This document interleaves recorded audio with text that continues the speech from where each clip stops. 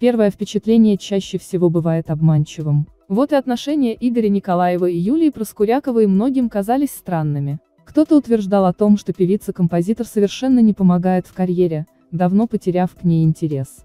Однако внезапная победа в конкурсе говорит об обратном. Проскурякова раскрыла проплаченный Николаевым конкурс. Об этом можно утверждать из сообщения коллеги Юлии. Девушка выложила пост в социальные сети, который к себе на страницу разместила и жена композитора. Девушки бились за первое место, соревнуясь чтением стихов в ГИТИСе. Напарница по конкурсу сообщила, что она совершенно не ожидала, что победит вместе с Юлией, выражая при этом бурю эмоций.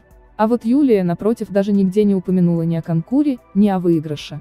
Да и особой радости от этого не испытала. Как будто заранее знала о решении жюри. Тем самым она поставила под сомнение честность полученной награды. Скорее всего, в этой ситуации большую роль сыграл статус Игоря Николаева. Как говорится, деньги есть, талант не надо. И если раньше казалось, что Проскурякова добивалась всего своими усилиями, то теперь этот миф развеялся. Вероятно, она, как и все звезды на эстраде, пользуется своими привилегиями.